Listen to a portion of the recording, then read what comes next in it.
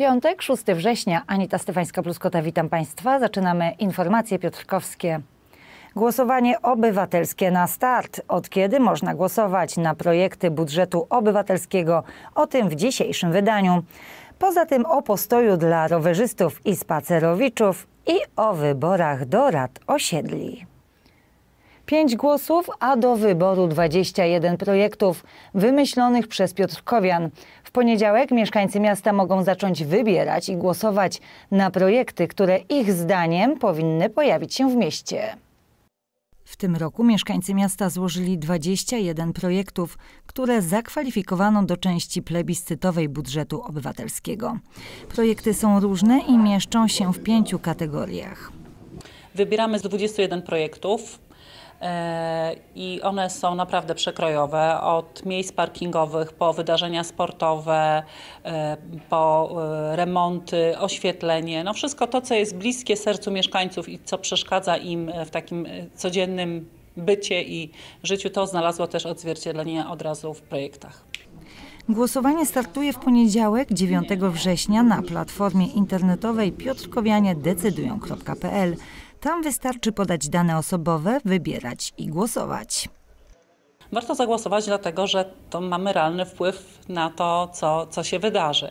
Warto zagłosować, żeby zadbać o swoją o najbliższą okolicę. No i w ogóle u, warto uczyć się mówię teraz do tych osób, które jeszcze nie korzystały z tego narzędzia, warto uczyć się tej demokracji na tym najniższym lokalnym y, poziomie, a potem warto się zintegrować przy wspólnej inwestycji z sąsiadami i cieszyć się tym, co powstało. Część plebiscytowa budżetu zakończy się przed północą 23 września. W tym roku do podziału na najlepsze projekty są 3 miliony 300 tysięcy złotych. Na jedne projekty Piotrkowianie będą głosować, a z tych, na które oddawali głosy w poprzednich latach, mogą już korzystać. Wczoraj oddano do użytku pit stop dla rowerów czy spacerowiczów przy ulicy Belzackiej. Pit stop znajduje się tuż za garażami, dokładnie między ulicą Belzacką a Aleją Generała Władysława Sikorskiego przy ścieżce rowerowej. To miejsce zacienione z ławkami, można tu odpocząć. Jest też stojak na rowery i roślinność.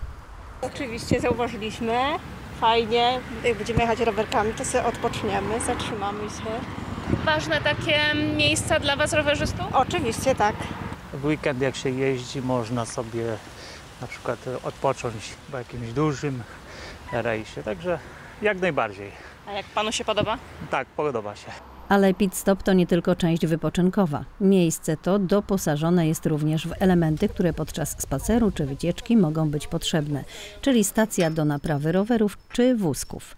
Jest też źródełko do picia dla spragnionych oraz oświetlenie. Wszystko było robione z taką myślą, żeby to nie był obiekt, który tylko kilka godzin na dzień funkcjonuje, ale również w, tych, e, w tym czasie, kiedy jest trochę ciemniej, więc została zainstalowana lampa solarna. Na początku było zrobione oczywiście przyłącze zarówno wodociągowe, jak i kanalizacyjne, aby można było podłączyć to poidełko.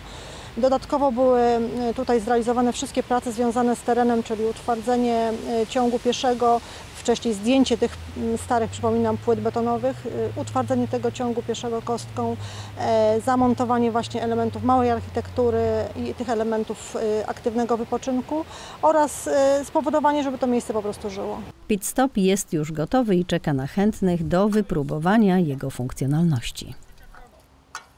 Głosowanie na projekty w budżecie obywatelskim to nie jedyne głosowanie, jakie przed Piotrkowianami. Mieszkańcy miasta już niebawem będą mogli zdecydować o składach rad osiedli. Bloki, w nich mieszkania, na skwerach place zabaw. Piotrkowskie osiedla podzielone są nie tylko ulicami. W mieście tymi terenami zarządzają nie tylko Urząd Miasta czy spółdzielnie, ale również Rady Osiedli, a jest ich w Piotrkowie Trybunalskim aż 14. Rada Osiedla jest jednostką pomocniczą miasta, która reprezentuje interesy mieszkańców. Jest to taki łącznik pomiędzy miastem a mieszkańcami. Czyli mm, członkowie Rad Osiedla mogą rozwiązywać problemy lub inicjować jakieś akcje? Tak, oczywiście i to tak odbywa się do tej pory.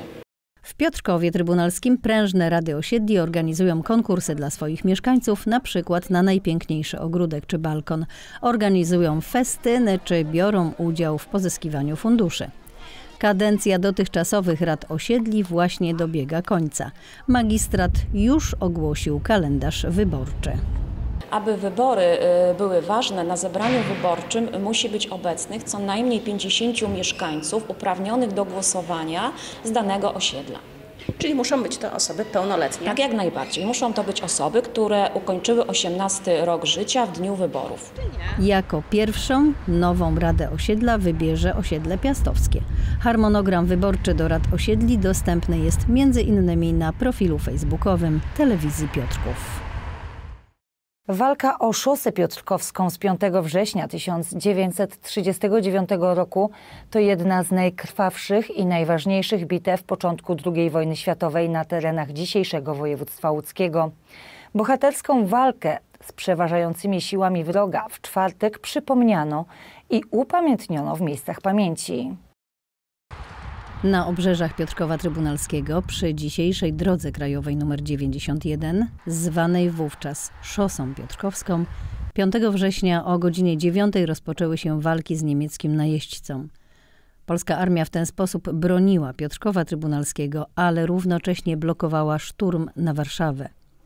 Wydarzenia sprzed 85 lat upamiętniono w mieście w czwartek rano sygnałem alarmowym.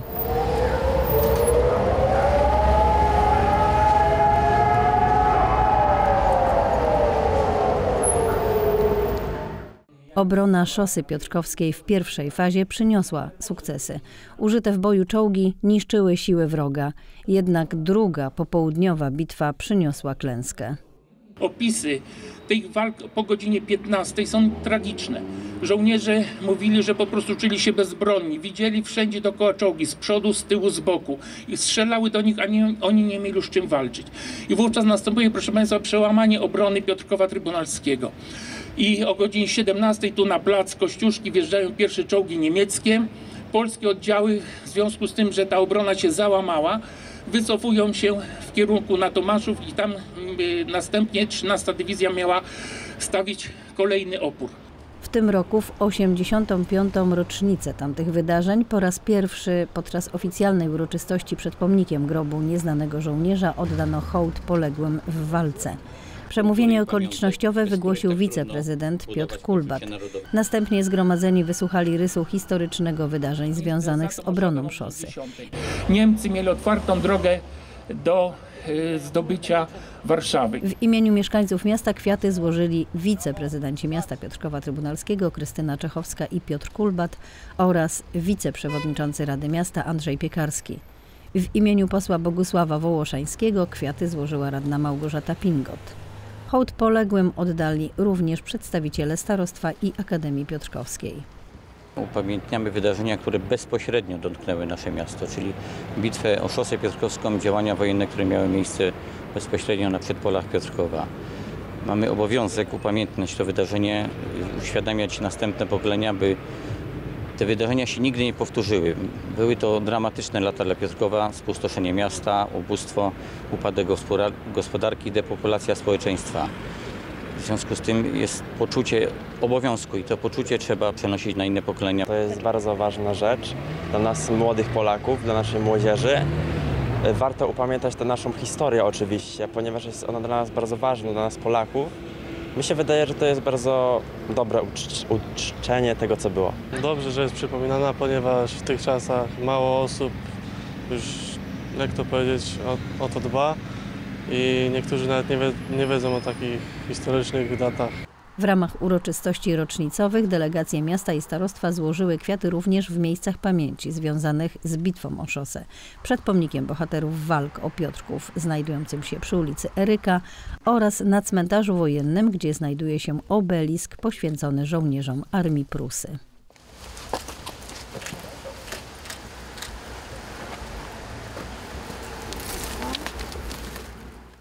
Wczesne pobudki, roztargnienie i pośpiech nie są to sprzymierzeńcy bezpiecznej drogi do szkoły, a bezpieczeństwo powinno być na pierwszym miejscu. Dlatego na początku września policjanci przed piotrkowskimi szkołami w ramach akcji Bezpieczna droga do szkoły przypominają o obowiązujących zasadach. Przed szkołami ruch dzieci pędzą do szkoły, rodzice podwożą je autami. Widać, że nowy rok szkolny rozpoczął się na dobre. W pośpiechu i ferworze szkolnych obowiązków trzeba jednak uważać, by do szkoły dotrzeć bezpiecznie, czy to samochodem, czy choćby rowerem. Jak bezpiecznie do szkoły dojechać rowerem? No to trzeba sprawdzić rower, e, ciśnienie w oponach, no i hamulca. Trzeba, y, trzeba zawsze pamiętać o kasku, mieć y, lampki w rowerach. O zasadach bezpiecznej drogi do szkoły przypominają policjanci. Od początku roku szkolnego przed piotrkowskimi podstawówkami uczniom i opiekunom przed pierwszym dzwonkiem towarzyszą piotrkowscy funkcjonariusze, którzy nie tylko czuwają nad bezpieczeństwem. Dziś przed szkołą podstawową numer 3 rozdawali najmłodszym odblaski, przydatne zwłaszcza w okresie jesienno-zimowym. Siema, jak tam droga dzisiaj do szkoły, bąbelki? Dobrze? Chcecie po odblasku od nas, policji? Trzymajcie, żeby się czuć jeszcze bezpiecznie idąc do szkoły. Proszę, możecie korzystać. Przyda się, na pewno. Jak będę jeździć rowerem, to się przyda. Albo będę chodzić w nocy, to tak. To się przyda, na pewno. Będzie bezpieczniej? Będzie bezpieczniej. A tobie się przyda odblask? Przyda. No, jak będzie ciemno, to się tak to jakoś go założy. A dlaczego są potrzebne? Jak na przykład jedzie pojazd w ciemności, żeby nas zauważył. Będzie bezpieczniej? Będzie bezpieczniej. Policjanci rozmawiali z uczniami, rozdawali odblaski i plany lekcji, ale też apelowali do rodziców. W pobliżu szkół bądźmy szczególnie czujni. Jakie błędy najczęściej popełniają, nie wiem, rodzice, dziadkowie, uczniowie? E, nie przewożą dzieci w fotelikach, mm, nie zapinają dzieciom pasów, nie zwracają na to uwagi. E, mimo to, że na przykład kaski nie są y, obowiązkowe, zachęcamy do tego, aby dzieci zakładały jednak kaski y, ochronne y, jadąc rowerem bądź hulajnogą. A najgorszy doradca na drodze to pośpiech. Warto więc wyjechać z domu 5 minut wcześniej. Był wieloletnim prezesem Piotrkowskiego Oddziału Polskiego Towarzystwa Turystyczno-Krajoznawczego. Organizował rajdy dla dzieci i młodzieży, m.in. topienie marzanny czy gorącego czaju łyk. Był współautorem przewodników i informatorów, przewodnikiem, harcerzem. Mirosław Ratajski zmarł 31 sierpnia w wieku 77 lat. Wczoraj w Piotrkowie odbyło się ostatnie pożegnanie.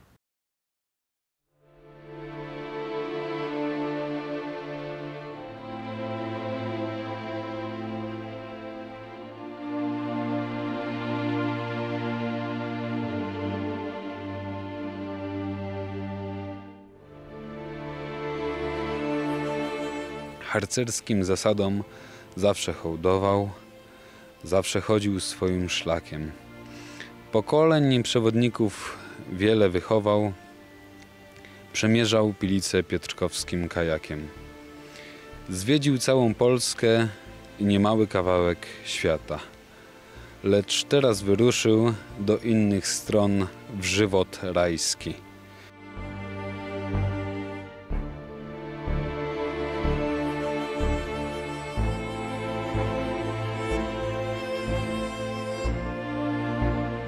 Piotrkowianin z krwi kości. Znany nam wszystkim chyba mieszkańcom. Wychował wiele pokoleń w czasie swojej działalności. Wieloletni prezes Polskiego Towarzystwa Turystyczno-Krajoznawczego w Piotrkowie. To tylko część jego działalności. Wśród nas odprowadzających jego prochu na miejsce spoczynku są tacy, co poznali go i pamiętają czasy, kiedy był działaczem harcerskim. Był człowiekiem, który potrafił zorganizować różnorodne zajęcia dla dzieci i młodzieży. Różnego rodzaju zloty, rajdy. Żegnamy dziś człowieka, który był prawdziwym społecznikiem. Zawsze pełen niespożytej energii i zawsze gotów do działania. Jego udział i inspiracje, kiedy trzeba było przyjmować delegacje z miast partnerskich, umiejętność prezentacji naszego miasta za granicą, to nietuzinkowy mieszkaniec. Uczestniczył od wielu lat w kweście na rzecz odnawianych pomników na Starym Cmentarzu, organizowanej przez Towarzystwo Przyjaciół Piotrkowa Trybunalskiego. W imieniu Towarzystwa pragnę podziękować najbliższym za ten pomysł, żeby dzisiaj była to jego ostatnia kwesta.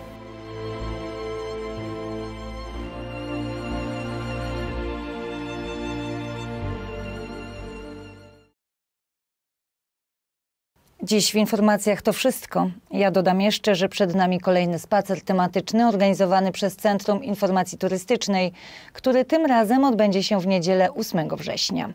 Uczestnicy będą mieli okazję zgłębić historię żydowskich cmentarzy, znanych również jako Kirkuty. Początek o godzinie 15 przy cmentarzu żydowskim na ulicy Krętej. Również w niedzielę wydarzenie sportowe na stadionie Concordia. Początek mitingu lekkoatletycznego Polanik Cup o godzinie 11.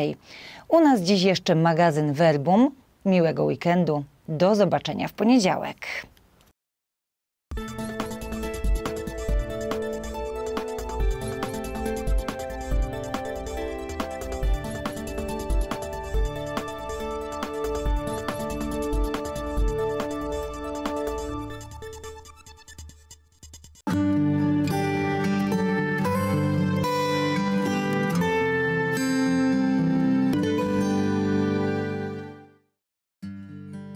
Słowa Ewangelii według świętego Marka.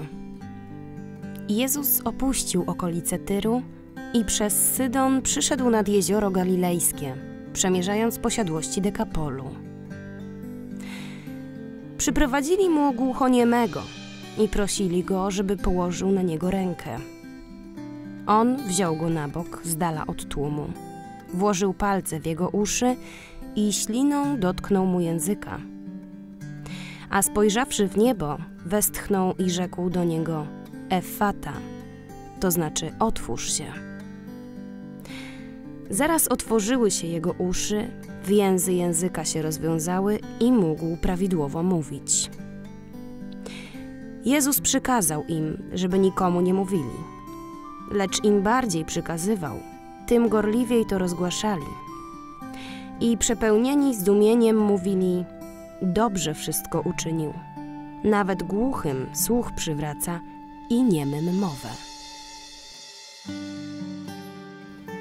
Głuchoniemy to człowiek, który nie słyszy i nie mówi. To znaczy ma no, problemy komunikacyjne. Z jednej strony y, nie może przyjąć tego, co świat do niego mówi, y, i pamiętamy, że to nie są czasy nasze, gdzie można mieć jakiś aparat słuchowy, ale po prostu nie słyszy, e, być może jakaś komunikacja na, na migi, a z drugiej strony nie może siebie wyrazić, bo nie mówi. Może w inny sposób, ale wiemy, że mówienie jest taką naj, najprostszym sposobem do tego, żeby człowiek mógł się porozumiewać z drugim człowiekiem. Najszybciej się dogada, najszybciej się zrozumie. Dlatego głuchoniemy to taki człowiek, który ma bardzo mocno zaburzoną komunikację.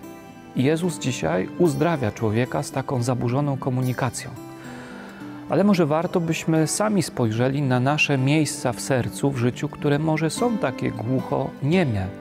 Głucho-nieme, to znaczy słyszymy drugiego człowieka, ale czy naprawdę wszystko przyjmuję, czy wszystko rozumiem, czy y, słyszę naprawdę, co ten drugi człowiek mówi, bo czasem możemy słyszeć to, co my chcemy słyszeć, a nie to, co drugi człowiek mówi a z drugiej strony wyrażenie siebie. To, kim jestem, jaki jestem, czy potrafię siebie wyrazić, to, co naprawdę przeżywam, to, co naprawdę myślę, a może próbuję stwarzać jakąś rzeczywistość nieistniejącą, wirtualną, co nazywamy kłamstwem, jakimś oszustwem, że e, dla jakiegoś tam celu, może żeby się przypodobać, a może żeby mm, ktoś mnie nie osądził, nie potępił z czegoś, to wolę nie powiedzieć prawdy, wolę nie, nie ujawnić tego, co naprawdę we mnie jest i wtedy tak naprawdę y, będę trochę jak taki głuchoniemy. Nie potrafię się komunikować dobrze, nie potrafię y, być w dobrej relacji z drugim człowiekiem. Każdy z nas jest godny i warty tego, żeby usłyszał prawdę. Każdy z nas jest godny i warty tego, żeby być usłyszanym w tym, co chce powiedzieć, tym, co chce wyrazić i chce być przyjętym.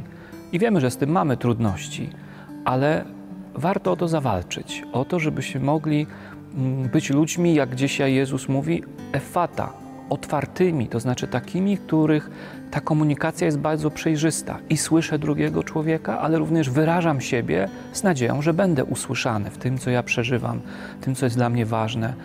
Dlatego może warto dzisiaj jakoś i rozważać to słowo, i prosić też Jezusa o to, by otwierał w nas to wszystko, co jest jakoś zablokowane te komunikacje nasze, które są jakoś właśnie zaburzone.